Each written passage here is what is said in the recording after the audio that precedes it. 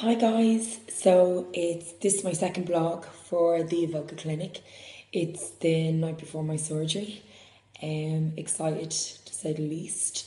Um, I'm booked in with um, Dr. Jean um, Felipe tomorrow at four o'clock.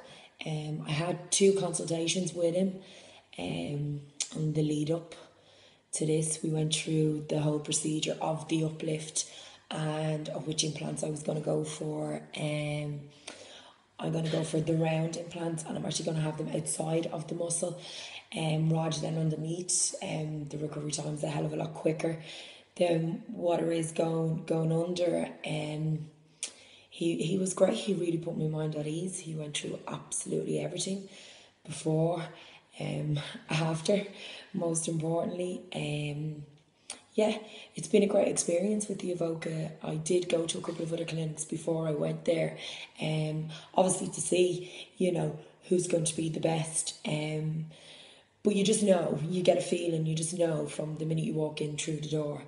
Um, yeah, these are the ones for me. The team has been fantastic. Um, the nurses have been lovely.